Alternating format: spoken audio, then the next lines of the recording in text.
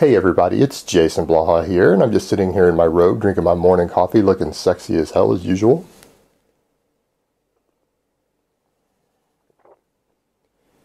And for those of you who say I don't look sexy as hell when I do these videos in my robe, nobody cares what you think.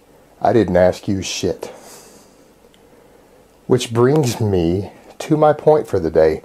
Now, I'm running an experiment on this right now on my private Facebook, and I'll discuss this in detail later, probably in another video either today or tomorrow. And I'm really concerned about all of the messages I've gotten in the last week over the holidays from young men who very, very clearly suffer from body image dysmorphia, and I blame the internet, and eating disorders.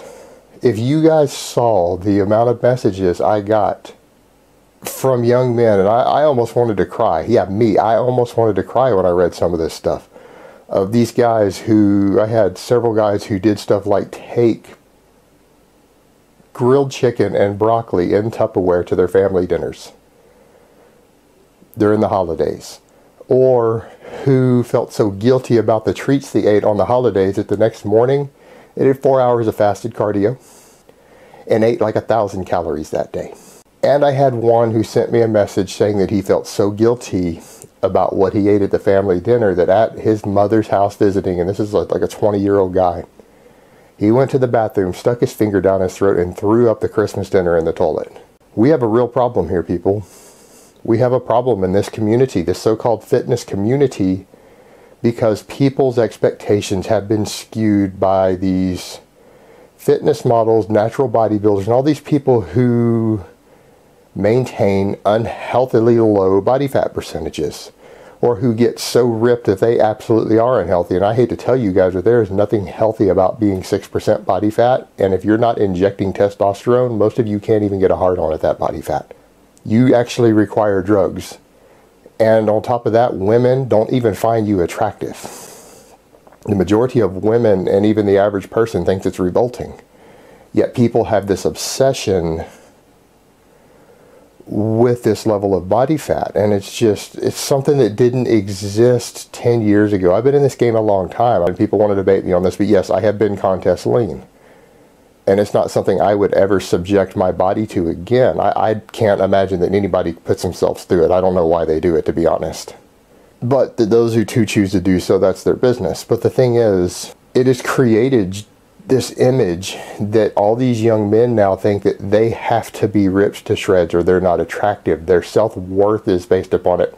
If they don't have deep abs, they're young men who are scared to take their shirt off in front of a girl to even have sex with her. And they're actually convinced that anyone who isn't ripped can't possibly get laid and bang attractive girls.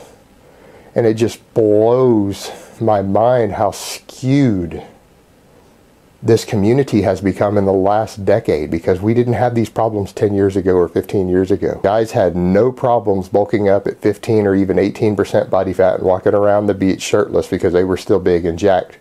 And they had no trouble pulling girls. Nobody thought they were fat.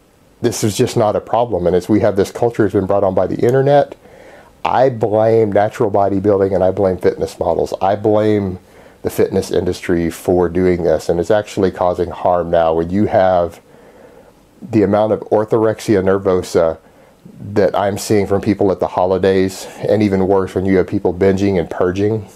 Young men, this was unheard of. We did not have young men with eating disorders 20 years ago. Now we have all these anorexic and bulimic young men.